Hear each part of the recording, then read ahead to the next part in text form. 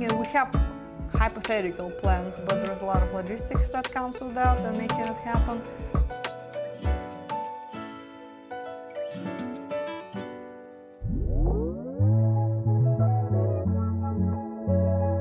From Ben, are all the women being verified to be in and out of Ukraine? See new profiles being added from both in and out of Ukraine.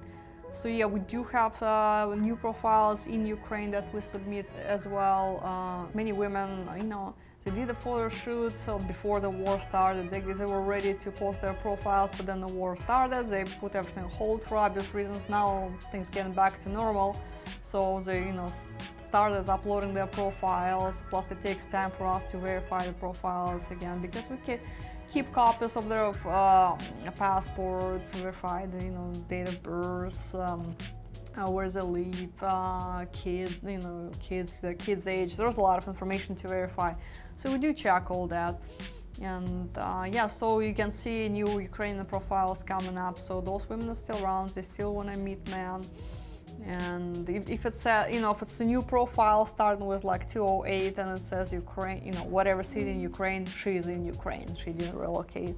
But if it's older profile, I mean, for example, 204, 203, or something to that nature, you know, she can't be really, she can't be in uh, Europe somewhere now. So we're trying to. You probably seen the tab current location in uh, in ladies profile. Not all of them, but it's there.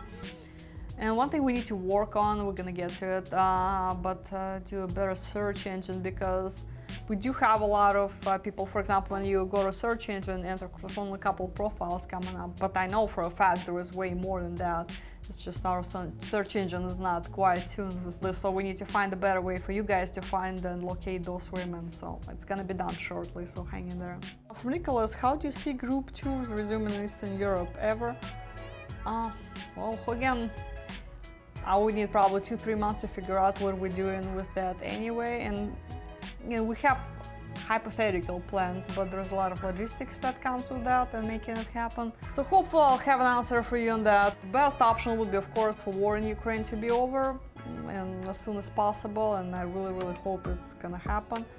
But if that's not happening in the nearest future, yeah, then we need to figure out what we're doing going forward. You having tours in Europe, I would love that. I'm retired and can go anytime.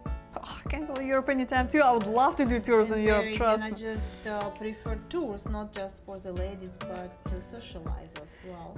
Yeah, That's so why we're doing it actually for well, you guys. yeah, it's great to you know uh, meet other guys. I mean, other guys. yeah, so that that's the thing. I mean, it's you know, guys when they join group tour, they're thinking about only meeting women, but it's also uh, get you know meet other guys that they're for the same reason, uh, trying to meet someone.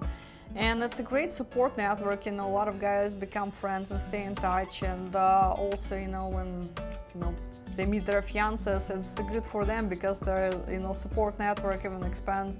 You know, they have questions, they can talk to each other, they can help their fiance because you know they're all going through the same thing. So, so that would be good.